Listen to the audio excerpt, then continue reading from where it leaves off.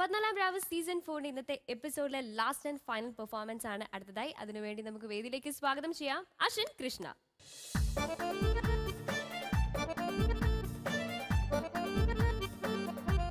Hi Ashwin. Hello Ashwin is back second സ്റ്റേജിലെ second പെർഫോമൻസിനായിട്ട് കഴിഞ്ഞ performance ഓർമ്മയുണ്ടല്ലോ? അപ്പം പറഞ്ഞ കാര്യങ്ങളൊക്കെ കറക്റ്റ് ചെയ്ത് വന്നിരിക്കുകയെന്ന് വിചാരിക്കുന്നു. ത്രോട്ട് ഓക്കെ ആണോ? കുഴപ്പമൊന്നുമില്ല. ഓക്കെ ഇന്ന് ഏത് സോങ്ങാണ് സെലക്ട് ചെയ്തിട്ടില്ലേ ഇന്ന് പീർ മുഹമ്മദ് ക പാടി ഹിറ്റാക്കിയ ചാഞ്ചക്കം ചായുന്ന എന്ന സോങ് ഓക്കെ എന്നാൽ നന്നായിട്ട് പാടിക്കോളൂ. All the best thank you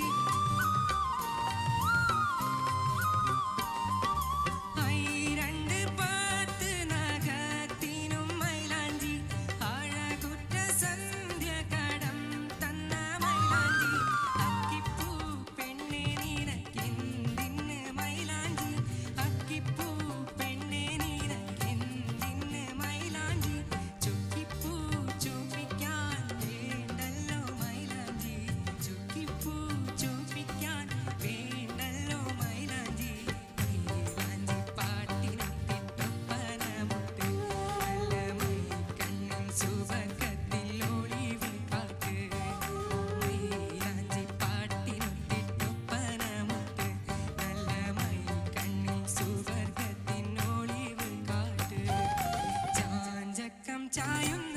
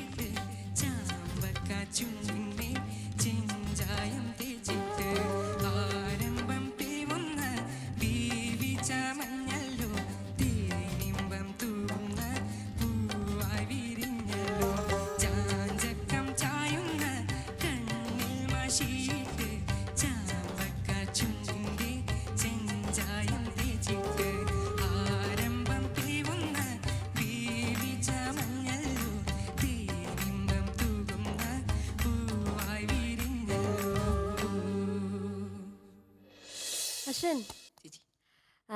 second പെർഫോമൻസിന് വേണ്ടിയിട്ട് പീർ മുഹമ്മദ് എന്ന അതുല്യ പ്രതിഭയുടെ ഒരു പാട്ട് തന്നെയാണ് സെലക്ട് ചെയ്തത്. ഇനി നമുക്ക് പാട്ടിനെ കുറിച്ച് ചോദിക്കാം.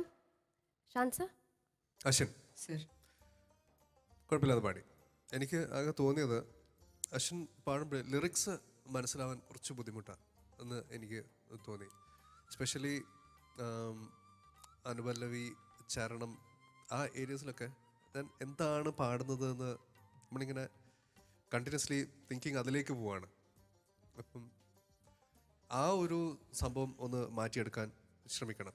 പക്ഷെ നല്ല സിംഗറാണ് ഈ ഒരു സംഭവം നമുക്കിപ്പം എന്താണ് പാടുന്നതെന്ന് മനസ്സിലാവണമല്ലോ അപ്പം അങ്ങനെ എനിക്ക് ഒരുപാട് ഭാഗത്ത് ഒരു നേസൽ ടോൺ വരുന്ന പോലെ ഒക്കെ എനിക്ക് തോന്നി. അപ്പം അത് മൈക്ക് പ്ലേസ്മെന്റ് അങ്ങനെയുള്ള ഒരുപാട് കാര്യങ്ങൾ കൊണ്ട് അയക്കാം. അപ്പം അത് നമ്മൾ പാടുമ്പോൾ പിന്നെ മൈക്ക് പല രീതിയിലും പലരും പിടിക്കും.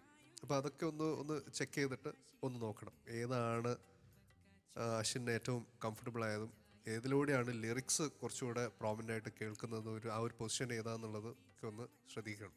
Okay all the best thank you Shan sir Faisal മാഷ് അശ്വന്റെ ടോണിന് പറ്റിയൊരു പാട്ടാണ് പീർക്കയുടെ അതിങ്ങനെ ഞാനിങ്ങനെ പീർക്കയുടെ പാട്ട് ഇങ്ങനെ ഒരുപാട് കേട്ടിട്ടുണ്ട് ഈ പാട്ട് പാടുന്നത്. അപ്പോൾ ഞാനിങ്ങനെ അത് ആലോചിക്കായിരുന്നു. പിന്നെ പി ടി അബ്ദുറഹിമാൻ എഴുതിയതാണിത്. നല്ല വരികളാണ്. ശരിക്കും ഒരു കല്യാണപ്പാട്ട് പീർക്കായ കല്യാണ പാട്ടിന്റെ ആളെന്നാണ് പൊതുവെ പറയാറുള്ളത്. ആഘോഷങ്ങളുടെ പാട്ടുകാരെന്ന് പറയും. അദ്ദേഹത്തിന്റെ പാട്ടിലൊക്കെ ഏതാണ്ട് ആ റൂട്ടായിരിക്കും. പിന്നെ മോൻ ഒറിജിനൽ കേട്ടല്ലേ പഠിച്ചത് അല്ലെ അത് യൂട്യൂബിൽ നിന്ന് കേട്ടതാണോ? മോൻ എത്ര ക്ലാസ്സിലാണ് പഠിക്കുന്നത് അപ്പോൾ ഈ പിന്നെ ഒരു ശബ്ദം ശരിക്കും ഈ പാട്ടിന് വളരെ യോജിച്ചിട്ടുണ്ട് പിന്നെ ഷാൻ പറഞ്ഞതുപോലെ ഈ ചില സ്ഥലത്ത് ഇപ്പം ഈ ആരംഭം പേറുന്ന ആരംഭം പേവുന്ന അതൊക്കെ ഒരു കൺഫ്യൂഷൻ ഉണ്ട്. നമുക്ക് കേൾക്കുമ്പം ചില വാക്കുകളുണ്ട് അപ്പോൾ അത് മോനെ ഒന്ന് അവിടെ ഒന്ന് ശ്രദ്ധിക്കണം. അങ്ങനെ പല വാക്കുകളുമുണ്ട് അപ്പോൾ നമുക്കിത് അറിയുന്ന പാട്ടായതുകൊണ്ട് അത് നമ്മൾ അതിനോട് എപ്പോഴും അങ്ങനെ ആലോചിക്കും. പക്ഷേ അറിയാത്ത ഒരാൾ ഈ പാട്ട് കേൾക്കുമ്പോൾ പ്രശ്നമാണ് അപ്പോൾ മലയാള വാക്കുകൾ തന്നെയാണ്. അപ്പോൾ അത് ശ്രദ്ധിക്കണം. വേറൊരു സങ്കീർണമായ പദങ്ങളൊന്നും ഇതിലില്ല. അതൊന്ന് വ്യക്തമാക്കാൻ ശ്രദ്ധിച്ചാൽ മതി. ബാക്കിയൊരു കുഴപ്പമില്ല. ഓക്കെ. താങ്ക് യു ഫൈസൽ മാഷെ. രണത്ത അശ്വിൻ കുഴപ്പമില്ലാതെ പാടി. എനിക്ക് ഫസ്റ്റ് പല്ലവിയൊക്കെ എനിക്ക് നല്ല സുഖമുണ്ടായിരുന്നു അവിടെ കേൾക്കാൻ. അനുപല്ലവി എനിക്ക് തോന്നുന്നു ആ ഒരു അക്കിപ്പൂ എന്നൊക്കെ കഴിഞ്ഞ് വരുന്നില്ലേ? അത് കഴിഞ്ഞതിന് ശേഷം ഇങ്ങനെ വോയിസ് ഇങ്ങനെ ഒരു കുറച്ച് ഇങ്ങനെ ലെവൽ ഇങ്ങനെ കുറഞ്ഞു വരുന്ന പോലെ എനിക്ക് തോന്നി. അത് അതേപോലെ തന്നെ ചരണത്തിലും. പക്ഷെ അങ്ങനെ ലെങ്തി ആണോ? അങ്ങനെ എന്താ അവിടെ അങ്ങനെ എനിക്കറിയില്ല. അങ്ങനെ ഒരു ഇത് സംഭവിച്ചിട്ടുണ്ട്. അനുപല്ലവിയിലും അതെ ചരണത്തിലും അതെ. അത് നമ്മളൊരു ഫുൾ സോങ് അങ്ങനെ പാടുമ്പോൾ അത്രയും നമ്മൾ അല്ലേ തുടക്കം മുതൽ അവസാനം വരെ ഒരുപോലെ തന്നെ കൊണ്ടുപോകണ്ടേ. അങ്ങനെ ഒരു അങ്ങനെ ഉണ്ടാവാറില്ല. അതൊക്കെ ഒന്ന് ശ്രദ്ധിക്കണം. പിന്നെ എനിക്ക് തോന്നുന്നു പല്ലവി ആ നല്ല സുഖമുണ്ട് കേൾക്കാൻ. എല്ലാ സ്ഥലത്തും നമ്മൾ ശ്രദ്ധിച്ചു. എനിക്ക് തോന്നുന്നു അതായിരിക്കും ഫൈസൽ മാഷ ആ വോയിസുമായിട്ട് അങ്ങനെ ഒരു അതാ പിർക്കാട് ആ ഒരു സ്റ്റൈലിനോട് അങ്ങനെ ഉണ്ടാവില്ലേ? വോയിസ് ചിലത് നമുക്ക് ഇങ്ങനെ കേൾക്കുമ്പോൾ അങ്ങനെ തോന്നില്ല അത് മോന്റെ ആ ശബ്ദത്തിൽ തോന്നിയെന്ന് പറഞ്ഞില്ലേ? അത് ആ ഒരു പല്ലവി നല്ല സുഖമുണ്ടായിരുന്നു. അനുപല്ലവിയാണ്. അക്കിപ്പൂ തൊട്ടന്നെ അങ്ങോട്ട് ശേഷം. അതേപോലെ തന്നെ അപ്പുറത്തും അതേപോലെ ഇതുണ്ട്. അപ്പം അങ്ങനെയുള്ള കാര്യങ്ങളൊക്കെ ശ്രദ്ധിക്കണം. നന്നായിട്ട് പാടും. പിന്നെ ബേസിന്റെ പ്രശ്നം ഈ വക കാര്യങ്ങൾ അക്ഷരം ക്ലിയർ ഇങ്ങനെ മൂന്ന് കാര്യങ്ങൾ കേട്ടോ? അടുത്തതിൽ അത് ശരിക്കും ശ്രദ്ധിച്ചു കൊണ്ടുവരണം. കാരണം ഇനി അങ്ങോട്ട് സമയമൊന്നും അധികം ഇല്ല? നമുക്ക് അല്ല വേഗം അടുത്തടുത്തല്ലോ. പിന്നെ എല്ലാവരും നിങ്ങളുടെ മാർക്സ് നിങ്ങൾക്ക് തന്നെ ഏകദേശം അടുത്തടുത്ത് കൂടിയാണ് പോകുന്നത്. അപ്പോൾ എല്ലാം ശ്രദ്ധിക്കുക കേട്ടോ. താങ്ക് യു രണത്ത അശ്വൻ പ്രാക്ടീസ് ചെയ്യാറുണ്ടോ? ചെയ്യാറൊക്കെ ഉണ്ട് അല്ലേ? ട്രോട്ടിന്റെ ആ ഒരു പ്രശ്നം വിട്ട് മാറിയിട്ടില്ല. മാറിയിട്ടില്ല അല്ലേ? എന്നാലും കുഴപ്പമില്ല. രണത്ത പറഞ്ഞ പോലെ അധികം ചാൻസസ് ഒന്നും ഇല്ല. ആ, എല്ലാവരും ഒന്നിനൊന്ന് മെച്ചപ്പെട്ട രീതിയിൽ തന്നെയാണ് പെർഫോം ചെയ്യുന്നത്. എല്ലാവരും വേണമെങ്കിൽ ഒരേ ലെവലിൽ എന്നൊക്കെ പറയാം. അങ്ങനെ ഒരു ടൈറ്റ് കോമ്പറ്റീഷനാണ് ഈ ഒരു സെക്കൻഡ് സ്റ്റേജിൽ നടക്കുന്നത്. അപ്പം give you maximum for the next performance ഈ ഒരു സോങ്ങിന്റെ മാർക്സ് അറിയാം. രണത്ത? Twenty five point five on thirty thank you രണത്ത. Sans? Again twenty five point five Faisal മാഷെ. Twenty five point five twenty five point five മൂന്ന് ജഡ്ജസും twenty five point five ആണ് തന്നിട്ടുള്ളത്. So your grand total seventy six point five out of ninety Ashwin അടുത്ത പെർഫോമൻസിൽ കാണാം. All the best പതിനാലാം രാവ് സീസൺ ഫോർ ഇന്നത്തെ എപ്പിസോഡിലെ എല്ലാ മത്സരങ്ങളും ഇവിടെ അവസാനിച്ചിരിക്കുകയാണ്. ബട്ട് നമ്മുടെ സെക്കൻഡ് സ്റ്റേജിൽ കൂടുതൽ പെർഫോമൻസുകൾക്കായി കാത്തിരിക്കും